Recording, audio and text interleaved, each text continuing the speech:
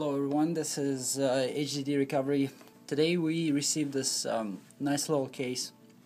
This is a Porsche design LaCie hard drive uh, that was purchased at the Apple store and uh, the customer that brought it in um, said that one day it was working fine. It has a bunch of um, her personal pictures, a year's worth of pictures backed up to it and uh, um, right now, she cannot access uh, the drive anymore because uh, it's not getting recognized. Now, let's uh, just break it down into category and try to understand why um, this uh, this had happened to her. Now, in order to do that, we need to uh, connect the drive and see uh, what we have that is coming up on the screen, at least in the disk utility, in terms of the hard drive and its accessibility. So I'm just gonna go ahead here and hook this up to my iMac.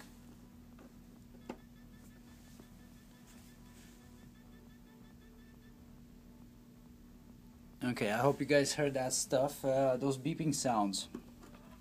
Now, if the drive initially, when initially is connected um, through uh, USB uh, or any other type of um, uh, connection, and it's not spinning up, then there's a problem with the with the hard drive.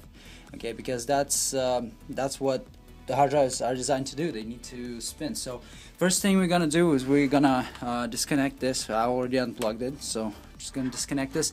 Now this is a really nice enclosure, but it's very futuristic looking and matches up great with um, other Apple products. Uh, this is designed by LaCie, great company by the way, but they do not make hard drives. Uh, so the hard drive inside of it most likely is made by um, either Western Digital, Seagate, Samsung, or uh, Toshiba or something, maybe Hitachi even. So let's uh, figure out a way how to uh, get this opened up. There are no bolts, as you can see. Um, um, any hardware of any kind on any side. So my guess is that this plastic enclosure slides into this metal uh, overlay casing, uh, and uh, there got to be some prongs in it. It looks like previous place had already tried to get access to it. So okay I can see on the side where the connector is right there uh, on the sides of them you can see little prongs. So um, just use something like a flathead screwdriver uh, to jam the prongs in there. Okay yeah it, and it easily comes right out. So you just gotta press up on these prongs and there you go it just slides out. Okay so Okay, great. So this is a Samsung hard drive inside. Like I said, uh, LaCie does not make hard drives. So uh, what we're gonna do is, uh, first of all, eliminate the problem of the bridge controller on here. This bridge controller is what uh, connects um, the output on the USB to your SATA interface on the hard drive. So if there's any problem uh, with the bridge controller, that could potentially uh, be the cause of you not being able to get access to your hard drive. So let's eliminate that problem by uh, getting that hard drive out from this bridge and um, testing it on something else that we already know uh, that works for sure. So um, looks like it's got some uh, it's got some uh, T8 screws on the back of it. I have a screwdriver here for that. So I'm just gonna go ahead and uh, unscrew this real quick it's just four little screws at the back of this thing and I think there's one more screw that's just securing um, the bridge near the connection tab so it doesn't wiggle wiggle around every time you try to connect it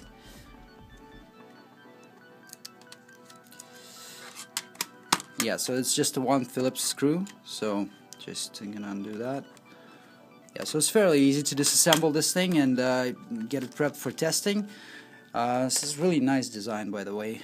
USB 3 connection, very fast. Um, so that's the bridge that we need to eliminate from the situation. We don't need this to test out the drive and get access to the contents. Um, there are no eh, there are no types of uh, any processors on here that may perform hardware encryption, so we're not going to worry about that. This is not a um, this is not something like a Western Digital passport uh, hard drive, so Samsung.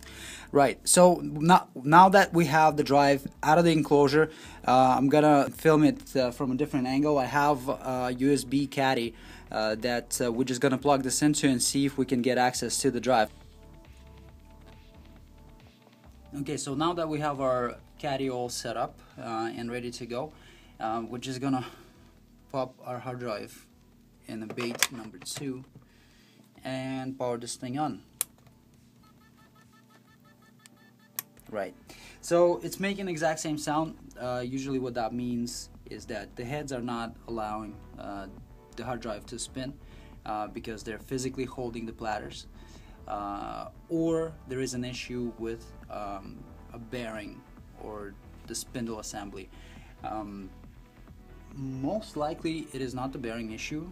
This kind of thing was very, very popular with Toshiba hard drives. This is a Samsung. I have never seen Samsungs fail this way.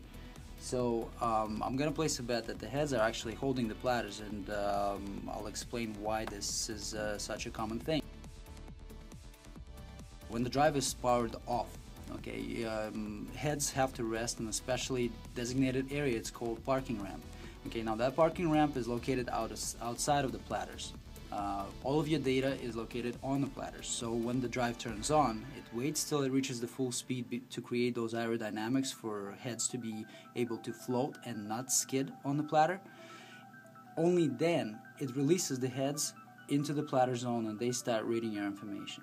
Okay, so whenever the drive is off power, those heads have to be on the parking ramp to avoid any friction between heads and the platter. So what can happen is if um, is when your hard drive is off power and you accidentally dropped it on uh, on the ground or off the table or something you know it just that that hard enough so that the hard drive experienced any kind of um, impact now that impact may force the heads to slip off that ramp and land on the platter surface okay so if that happens those heads will act like brakes on the car they will jam up the platters they will not allow them to spin up now um, different hard drives have different uh, friction forces and they hold their platters differently. The more heads that are in the drive, the more difficult it's going to be to release them without having any damage afterwards. So it's a very very delicate process. I would strongly advise about against uh, trying to get this done at home. Uh, this is not something that um, should be done in regular room conditions. We are using class 100 air environment for this. Uh, so that we can open up the drive and avoid contamination getting into inside of the drive. So that is a very important factor because uh, any contamination can be crucial, okay? Because uh, if the dust gets inside the drive, next time you power it on, most likely it will create damage that cannot be reversed afterwards. So uh, you have to be very careful with this. Um, I would strongly advise uh, against uh, either contacting um, somebody who is uh, familiar with this uh, or trying to find somebody locally who provides these services on a um, significant enough level. They need to have clean clean room or they need to have laminar flow bench at least. They need to be able to uh, get this stuff done. Uh, a lot of data recovery companies nowadays uh, they don't provide a full range of services. Maybe they claim they do but a lot of them actually outsource data to bigger or more qualified companies that um, are good at this stuff. So i would definitely uh, do your your part of the research when you're trying to choose um, a company to help you out with because i know the replacement cost on these things it's not it's not great. I mean it's $80 to $150 you can buy any external hard drive you want.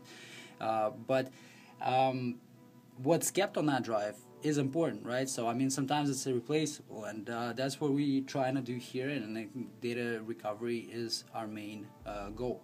We don't do anything else. So next step of the process would be to actually physically open up that drive, have a look inside, find out what the issue is, and correct it. Now, if it's the platters uh, that are being held by heads, we need to release those heads, park them back into the parking zone, and the issue will be taken care of. Uh, we'll need to follow up with the imaging process. That is also a very important step to get proper results. Or if the issue is related to the spindle or the bearing, we move the platters into a donor chassis that has exact same motor and setup and run it that way. So we're just gonna go into a second uh, room here which is specifically designed for physical recovery that we use and um, perform uh, a recovery process on this drive. This is uh, this is our hard drive. It's secured by six screws that we can see and one is always hidden.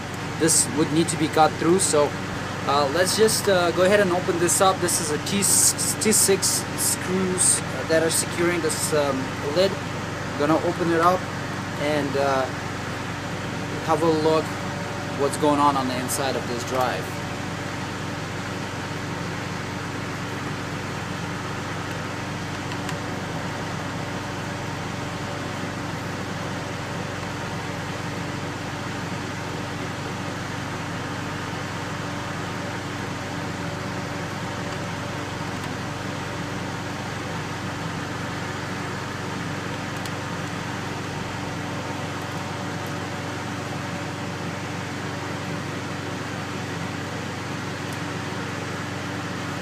Okay, so uh, once we have all seven screws out, um, very carefully we're just gonna pry this up on each corner. Not in the middle because the discs are located here and it's the last thing you want to do is to scratch the drive when you're trying to open it. So this is it. As I said, uh, when the hard drive heads slip out and land on the platter surface, that platter surface is automatically gets jammed so I'm just gonna show you that it, it's physically not moving. Like I'm trying to rotate this and it's stuck. It doesn't want to budge. So the process does require a specialized tool to be slipped in between the head and the platter to lift them safely without dragging them across the platters and that's what we're gonna do next. Um, since this is a little bit time consuming, we're just gonna skip ahead to a, a point where the process is done. And we're gonna get back to uh, uh, the recovery station and we're gonna start uh, accessing this drive and see what we can pull out of it. Now that our hard drive is back together, uh, we're gonna perform uh, imaging of uh, client's data. Now in order to perform that imaging we need to hook it up to one of our machines that does that and um, see what uh, what we're able to get. So this drive wasn't able to spin up previously and uh, instead of spinning uh, it was beeping um, without having any kind of movement on the inside. So right now we're just gonna um, power it on.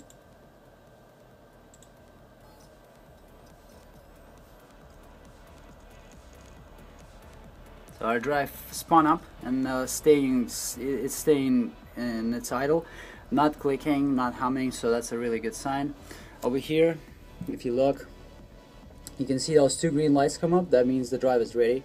And uh, we need to go into vendor specific utility. So we select Samsung um, automatically it chooses uh, which model and family it belongs to because our ID is right there.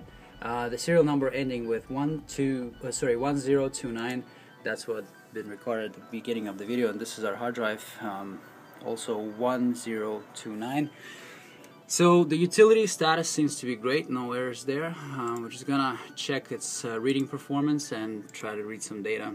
Like for example, go on to sector number 63. And uh, that's what we have there. LaCie, share, FAT32. That's what we have. Came out of the LaCie, FAT32 filing system. Great. Um, so this drive is ready for imaging. So we have already um, set up the task for it to kind of get it going. And um, now just to show you the performance of that imaging process uh, I'm just gonna switch onto the screen of that imaging and, and run it up. Okay so um, this is the drive. So now it's running those green blocks that you see that means the data is being imaged without any problems any errors. Uh, this is the speed that we're working on. Um, not the ideal speed, but for a drive that um, um, was unsealed, it's pretty good. And we're not running into any issues uh, in terms of bad sectors and stuff like that or inaccessible areas.